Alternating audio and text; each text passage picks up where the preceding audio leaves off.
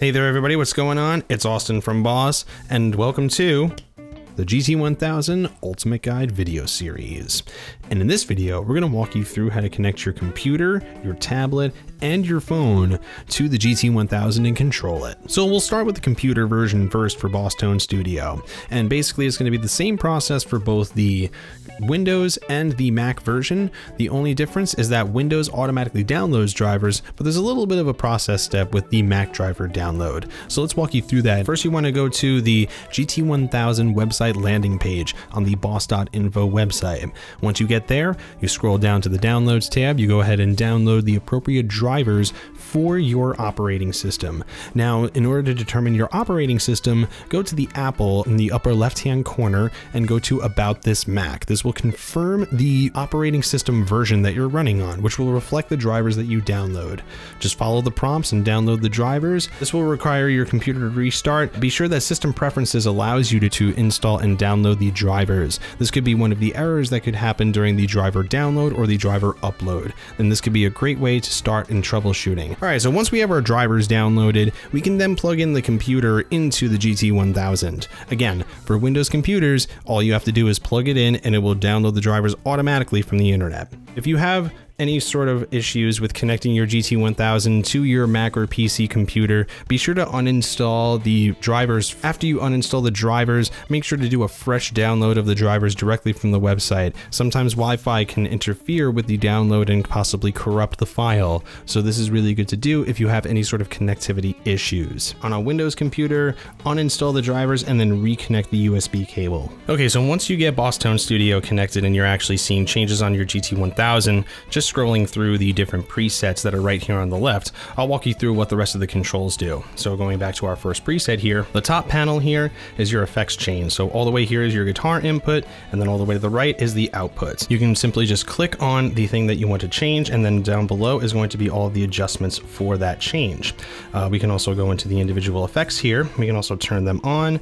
We can change to different algorithms, and we can also change their individual parameters just from the knobs down here. Okay, so your control expression menu will be located right up here. Librarian is very useful for backing up any sort of patch sets. This can also be really good for exporting out master patch lists. By simply clicking on this arrow here, we can export any set list that we want, either to the GT1000 itself or as a file that we can then export to our desktop and save for later. Tone Central is really fun to explore if you're just getting to know your GT1000. And then lastly, we have our system menu, and the system menu is really good to know because this is where we can make all the master adjustments such as our input settings, our output settings, a master all data. This is really good if you're going to be updating your GT1000 and you already have a bunch of patches already saved. You can then restore those patches that you saved as a backup file directly into your GT1000 after an update using GT1000 with a tablet or a phone. So now in order to do that, we want to make sure that the Bluetooth switch is engaged inside the GT1000. To do that, we simply press menu, we go to hardware settings, and then we click other. And now we see a something called a Bluetooth switch, and this we want to turn on. Different IDs mean that multiple GT1000s can be synced over multiple different devices. Once the Bluetooth switch is set on, we can go ahead and get out our device. So now that we have our tablet open, we can go ahead and go into the App Store and this is on all Apple devices. We can go ahead and go into the search bar and we can type in BTS or Boss Tone Studio for GT 1000.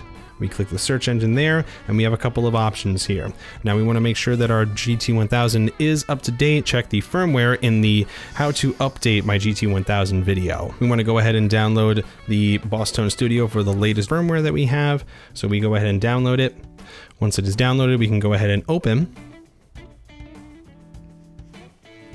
And now once the Bluetooth settings are open, we are brought to this menu. So we click Bluetooth MIDI uh, device. It asks me if I should allow the Bluetooth to connect. We say yes.